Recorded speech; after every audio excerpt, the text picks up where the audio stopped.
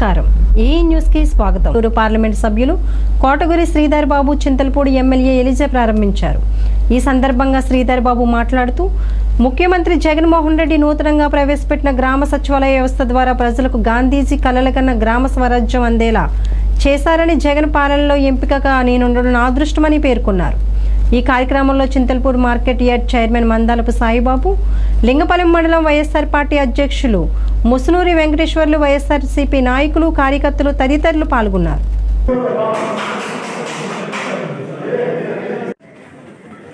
Parliament సభ్యులు కోటగిరి శ్రీధర్ గారికి నవీన్ తమ్ముడికి సాయిబాబా గారికి సతీష్ గారికి అశోక్ గారికి ముసు వెంకటేశ్వరరావు గారికి రాజు గారికి ఇతర పెద్దలందరికీ ఈ కార్యక్రమానికి విచ్చేసినటువంటి భోగోలు గ్రామ ప్రజలందరికీ కూడా నా హృదయపూర్వకమైన నమస్కారాలు తెలియజేస్తా ఉన్నాను. ఇది ఎంతో అద్భుతమైనటువంటి విషయం. ఎందుకనంటే మనకు స్వాతంత్రం రాకముందు గాంధీ మహాత్ముడు దేశం తిరిగి భారతదేశానికి స్వాతంత్రం తీసుకురావడానికి ఏ రకంగా అయితే పోరాటం చేశారో అదేవిధంగా ప్రతి గ్రామం కూడా స్వతంత్రంగా ఉండాలి. గ్రామంలో ఉన్నటువంటి ప్రజలందరూ కూడా స్వతంత్రంగా ఉండాలి అని ఒక ఉద్దేశంతో గ్రామ స్వరాజ్యం అనే ఒక కాన్సెప్ట్ తోటి ఆయన ముందుకెళ్ళారు. గ్రామ స్వరాజ్యం అంటే ఏ గ్రామాన్ని ఆ గ్రామమే పరిపాలించుకోవటం. ఈ రోజున మన ప్రీతం ముఖ్యమంత్రి వర్యులు జనహృదయ నేత శ్రీ వైఎస్ జగన్మోహన్ రెడ్డి గారు గాంధీ అన్ని సర్వీసెస్ అన్ని రకాలైనటువంటి సదుపాయాలు ఒక్కచోట దొరికే దొరికే విధంగా. గ్రామ సచివాలయం ఇంతకుముందు మీరు ఎంఆర్ఓ ఆఫీస్కి ఎండిఓ ఆఫీస్కి ఇలా రకరకాల ఆఫీసులు తిరిగేవారు. కానీ ఈ రోజున అన్ని సేవలు ఒకే చోట గ్రామ సచివాలయంలో జరుగుతుంది. దీనికి కూడా మీరు గ్రామ సచివాలయానికి స్వయంగా వచ్చి చేయాల్సిన అవసరం లేకుండా వాలంటీర్ వ్యవస్థని రూపొందించడం జరిగింది. సింగిల్ విండో పథకం. దీంతో పాటుగా రైతు భరోసా కేంద్రం మరి వెల్నెస్ సెంటర్ అంటే హాస్పిటల్. ఈ రైతు భరోసా కేంద్రం వెల్నెస్ సెంటర్ ఈ మూడు కలిపి ఒక యూనిట్గా ఉండి గ్రామానికి కావలసినటువంటి సేవలన్నీ కూడా అందించడానికి వారు సిద్ధంగా ఉన్నారని చెప్పేసి మీ అందరికీ కూడా తెలియజేస్తూ ఉన్నాను.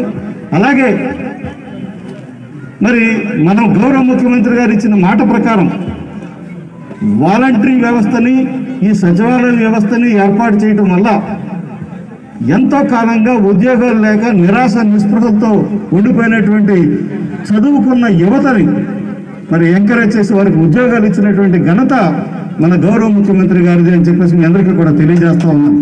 సార్ ఇప్పుడు ఏలూరు పార్లమెంట్ సభ్యులు శ్రీ శ్రీధర్బాబు గారిని ప్రసంగం చేసినట్టు కోరుతూ ఉన్నాం.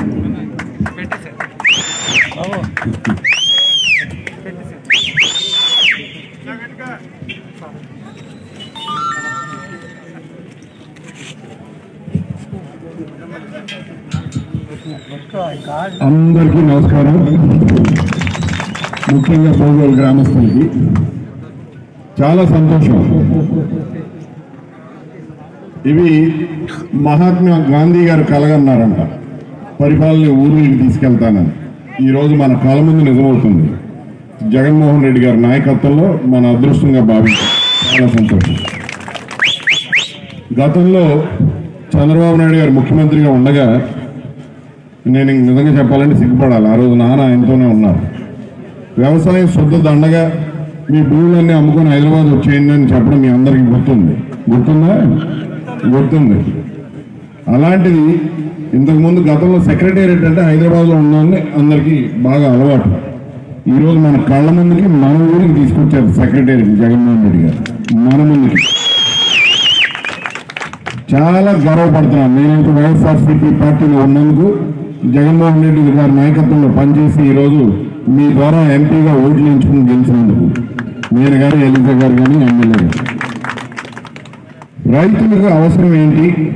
మన రాష్ట్ర ఊపిరి మన రాష్ట్ర వ్యవసాయం రైతాంగం అని గుర్తించి రైతులకి ఏమేం కావాలో ప్రతి ఒక్కటి కూడా ఈరోజు జగన్మోహన్ రెడ్డి గారు శ్రద్ధ పెట్టి మన ముందుకు తీసుకొస్తున్నారు. మొన్న చూసాం కరోనా టైంలో కూడా మొక్కజొన్న రైతులు నష్టపోతారేమో అని చెప్పి కనీస ధరించి కొండం మీరు అందరూ చూశారు. అలాగే పొగాకు స్వాతంత్రం తర్వాత మొట్టమొదటిసారి ఏ గవర్నమెంట్ అయినా సరే ప్రభుత్వం ఏ ప్రభుత్వం అయినా సరే దేశం మొత్తం మీద కనీస ధరించి పొగాకు కొనడం కూడా జరిగింది. రాష్ట్ర ముఖ్యమంత్రి కార్యాలయంలో మౌలాలి అబ్దుల్ కలాం ఆజాద్ జయంతి వేడుకల్లో పాల్గొన్న సుఫీ మాతా గురువులు అల్తాఫ్ రాజా రాష్ట్ర